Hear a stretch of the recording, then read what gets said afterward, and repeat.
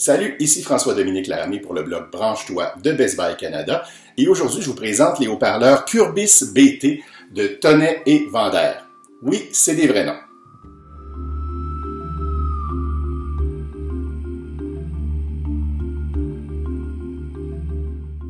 Alors, BT, c'est pour Bluetooth, mais comme vous pouvez le constater, on ne parle pas ici d'un petit haut-parleur Bluetooth euh, qu'on transporte partout avec soi dans son sac à dos. Ce sont des vrais haut-parleurs de tablette qui viennent en paire d'ailleurs, qui sont connectés entre eux par un fil, mais auxquels on peut transmettre du contenu par Bluetooth si on le désire.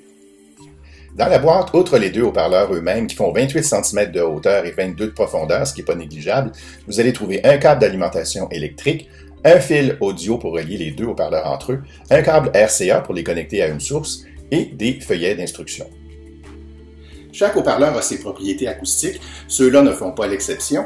Ils rendent très bien la grande majorité des fréquences, que ce soit des voix, de la guitare acoustique, de la guitare électrique, des instruments électroniques. La seule petite différence, c'est dans les extrêmes graves. On s'ennuie un petit peu de la présence d'un subwoofer, d'un caisson d'extrême grave, lorsqu'il y a beaucoup de basses dans de la musique du gros rock heavy, ou quand on écoute un film avec des explosions. Mais autrement, la puissance des 340 watts paraissent, non seulement parce qu'on peut faire jouer assez fort, mais aussi parce qu'on peut monter le volume sans subir aucune distorsion.